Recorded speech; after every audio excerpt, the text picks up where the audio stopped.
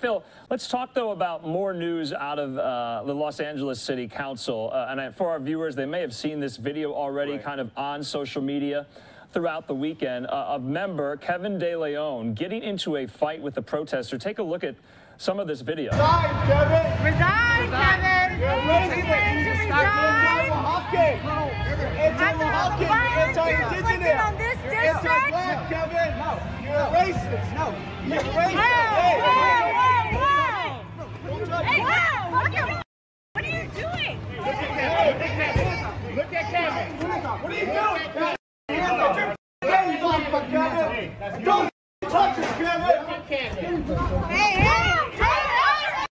Hey, Kevin, Kevin! Touch him, Kevin!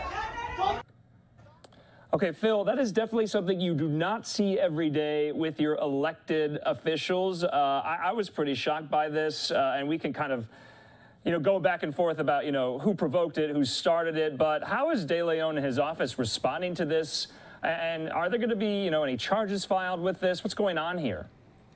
Well, first of all, that was at a, a family toy giveaway over the weekend in De Leon's district. You remember, this is the aftermath of that October leaked recording in which uh, De Leon and other council members and the head of the LA County Federation of Labor made some uh, remarks that were described and characterized as racist regarding uh, an adopted uh, black son of a white city council member. Huge controversy in Los Angeles. Remember, the head of the uh, the president of the city council, Nury Martinez, resigned. Kevin De Leon uh, has chosen not to resign, despite almost universal calls for him to do so. Uh, he says that he needs to represent his district, and so there are people who are protesters, but they take it to another level. Andrew, they're profane, the F word. They are in your face with the phones, trying to provoke you. I've seen it. I've been there. I've watched it happen. Uh, it's very, very controversial, and that's what happened the other night. And De Leon says that this guy actually got too far and and headbutted him, and that De Leon reacted to that, and that was that scuffle that you saw. I spoke to LA Police Chief Michael Moore today about this specifically. He was at the Karen Bass event this morning. He said that they are investigating uh, and that the city attorney will ultimately make a decision on who, if anyone, to charge. But this is a very difficult situation. Uh, city council people, unlike the mayor, typically don't travel with security, for example, or like the governor, uh, or like the Speaker of the House. Um, you know, and so they're saying that this is sort of a new reality that these these profane, aggressive protesters um, are showing up and disrupting something like a toy giveaway for families. Yeah, and Phil, uh, obviously, some of the consternation stems from the fact that uh, uh, others that were heard uh, on that leaked audio, Kevin De Leon, Gil Cedillo, uh, have not yet resigned, maybe never will, uh, their posts uh, on the city council, much like Nury Martinez did, so much so that Gil Cedillo uh, released this statement today to the LA Times, uh, kind of rationalizing and, and at least explaining you know, why he is not resigning. He says most people find the subject of redrawing political boundaries based on census data as boring as watching paint dry. In Los Angeles, though, a year old illegally recorded conversation about the subject touched off a political firestorm. On the tape, City Council President Nury Martinez, Councilman Kevin De Leon, County Labor Federation head Ron Herrera, and myself, all Latinos, spoke frankly about how districts based on the 2020 census could best represent the city's evolving ethnic balance. So you're seeing, Phil, uh, you know, at least some, I guess, rationalizations, explanations about why they will not be resigning.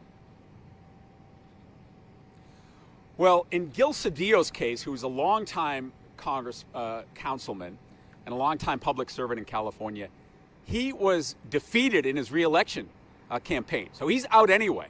Uh, there's a new city council person in his seat, uh, one of 15 that make up the Los Angeles City Council. So Cedillo took it as a matter of pride to finish out his term, um, also continued to collect a paycheck in excess of $200,000 a year. And he felt that he didn't do anything wrong. And this is really the first uh, comment that he's made beyond uh, saying through his representatives that he was, this was the term that he used, Andrew, that he's in a period of reflection after this uh, leak was disclosed back in, uh, in October. But he basically said he didn't feel like he did anything that uh, he needed to resign over. All right, uh, Phil Shuman, as always, uh, we appreciate your time as we go into so many of these big national stories there in Los Angeles. And Phil, we'll check in again. Thanks so much. Okay. All right, uh, and also just want to put out, uh, at least read out a little bit more uh, of the statement by Gil Cedillo that he released. Uh, and you can see there, uh, this was getting uh, a lot of attention as well. This uh, paragraph, he says, My critics' warped zealotry isn't a sign of a growing movement for racial justice. It's a glaring problem. Satirist Trevor Noah recently came to the defense of singer songwriter Lizzo, who used spaz out in a song.